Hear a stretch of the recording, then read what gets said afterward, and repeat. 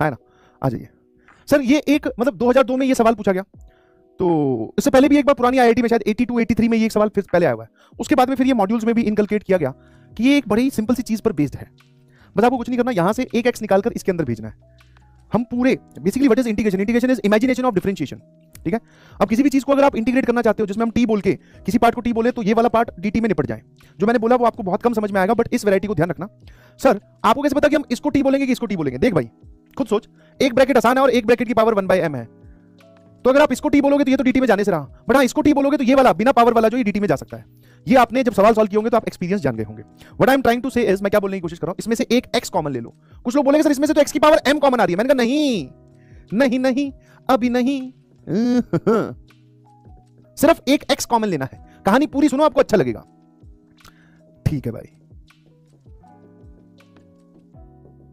ये ठीक है? अब ये जो एक्स आपने कॉमन लिया है, इस एक्स को इस ब्रैकेट के अंदर फिट करो, भेजो अंदर। सर वो कैसे?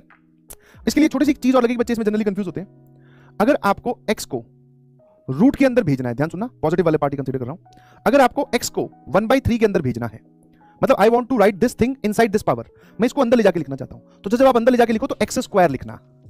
इसको अंदर ले जाके लिखो तो एक्स क्यूब लिखना। मैंने कहा, मैं एक्स को पावर वन बाय एम वाले ब्रैकेट के अंदर ले जाना चाहता हूँ। तो सर पावर अंदर एक्स अकेला नहीं जाएगा पावर एम जाएगी। कितने लोग इस बात को समझ गए हैं? बोलो बोलो बोलो। ये कौन है भाई? Please give justice to Arjuna students 1.0 हाँ बेटा, आपको मैं अंदर बताता हूँ, ठीक है? अंदर की बात बता रहा हूँ, किसी को बताना मत, ठीक है? ऐसा होने वाला है 1.0 जो लोग 2.0 का सब्सक्रिप्शन मांग रहे हैं, देखो, तुमने इतने मैसेजेस किए, तुम्हारी बात अलग सब तक पहुँच गई। अब वो क्या इमोशनल आदमी है? उन्होंने सोचा पहले भी था बट वो बात वहाँ कन्वे नहीं हो पाई, ठीक है? तो आपके लिए ये काम होने वाला है बट किसी को बताना मत कि मैंने बताया, वरना गड़बड़ हो जाएगी, ठीक है? इमोशनल इन द सेंस कि वो आपके लिए सोचते हैं, बच्चों की डिमांड है तो ये होगा बार बार मत लिखो। हो जाएगा, तुम्हारा बैच स्टार्ट होने से पहले 1.0 वालों को 2.0 का सब्सक्रिप्शन मिल जाएगा भाई। अब पढ़ ले, ठीक है? आ जाओ। सर, एक बार बताओ, जब आप इस x को अंदर भेजोगे तो x की पावर m अंदर जाएगी, ध्यान सिर्फ़ x से मल्टीप्लाई मत कर देना भाई, अभी सिखाया x को इस ब्रैकेट के अंदर ले गया तो x की पावर m जाएगी है ना?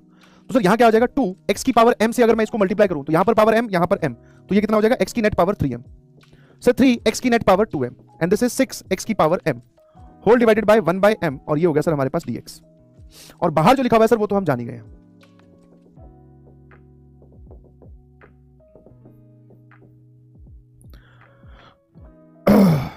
ठीक है? अब वापस, आप इसको टी बोलिए प्लीज़ जैसे ही मैं इसको टी बोलूँगा दैट इज़ टू एक्स की power three m plus three x की power two m plus six x की पावर एम को जब मैं टी बोलता हूँ, दोनों तरफ़ डिफरेंशिएट कर दीजिए। Sir D T sorry D T कितना आएगा?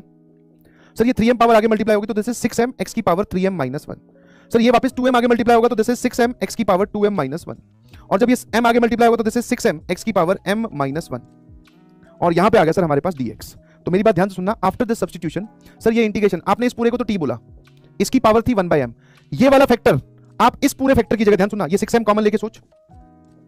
तो पीछे क्या बचेगा? सिक्स एम कॉमन ले लिया मनी मन में। एक्स की power three m minus one x की power two m minus one x की power m minus one multiplied by D x तो this factor multiplied by D x इसकी जगह आप क्या लिख सकते हो? ये रहा डी देखो ध्यान से सिक्स एम कॉमन निकालकर इधर डिवाइड करना है आपको।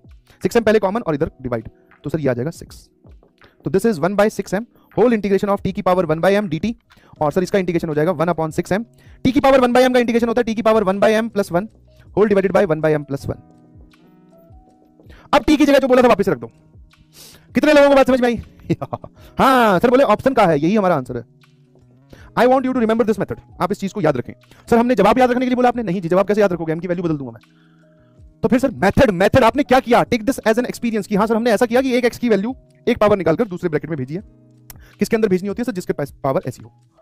कैसा लग रहा है? एम की वैल्यू वन पुट कर दे? एम की वैल्यू वन पुट कर दे?